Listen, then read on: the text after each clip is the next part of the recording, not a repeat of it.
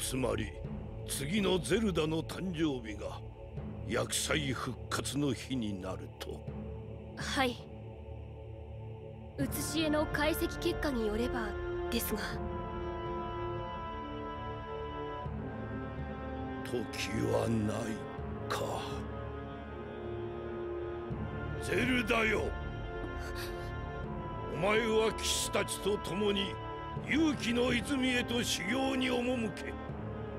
何としてでも薬剤復活までに力に目覚めるのだ。は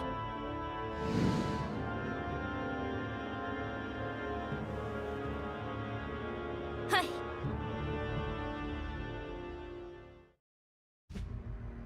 ガーディアンに残されていた記録から薬剤ガノンがゼルダの17歳の誕生日に復活すると知ったハイラル王。はゼルダに勇気の泉へと修行に向かうよう命じる。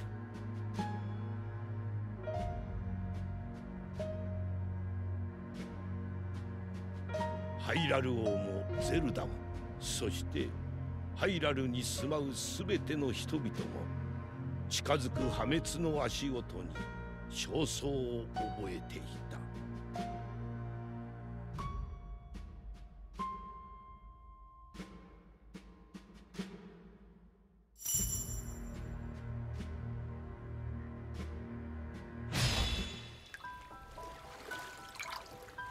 今の自分にやれることをする。それが無才の姫にできるせめてもの献身だと。何度も自分に言い聞かせてきた。けれど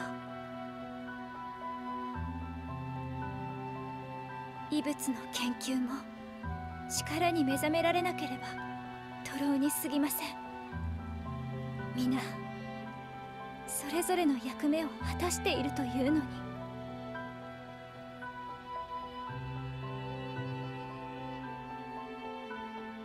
私だけがいつまでも役に立てていない。姫様。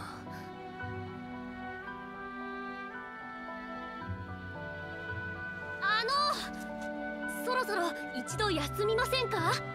ほら私そのお腹が減ってきました。インパですがもう余裕は。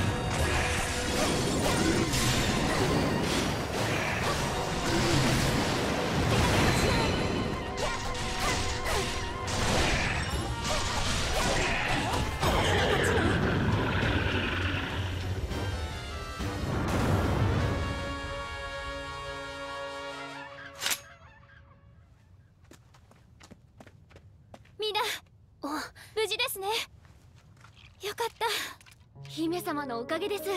あんな仕掛けに気がつくなんて。いいえ。あなたたちの力があってのことです。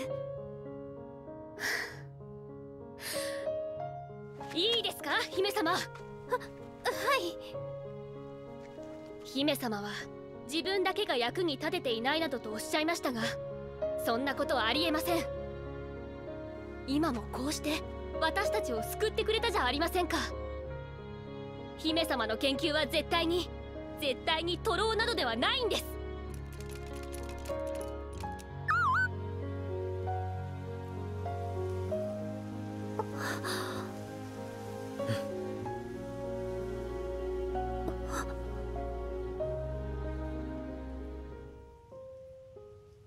ありがとうインパ。けれど私は己の使命と最後まで戦ってみようと思います。